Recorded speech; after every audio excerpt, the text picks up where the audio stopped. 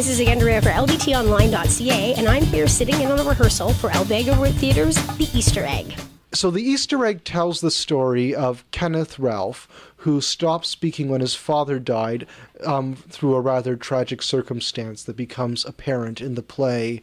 And Kenneth, from then on, um, no longer speaks. He's in a traumatic state, and his um his lack of speech and his um his suffering are caused in a great deal by his stepmother Bethel Henry. And Bethel is one of those great villains of the stage. She's just as much sympathetic as she is evil. Bethel?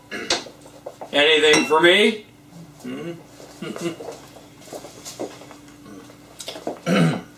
My dinner party's not till 8.30, you know. I know.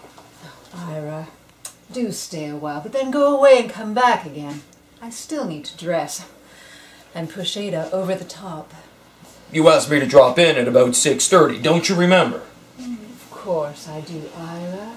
I just like to see that little boy hurt come in your eyes, that's all.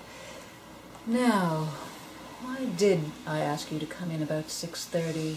People should come see the Easter egg because it is uh, truly a Canadian classic. It is a, it's a real um, masterwork of the Canadian stage, and and to work on it has been such a thrill. The amount of um, detail that is put into the writing, and I think that um, that uh, that um, wonder of seeing really good a really good play um, will transcend to the audience. It's also a play about um, rising up from oppression. It's it's about uh, an underdog who finally emerges and becomes who he fully is, and that's Kenneth. So it speaks, I think, I think it'll speak quite deeply to people who have faced great challenges and have overcome them.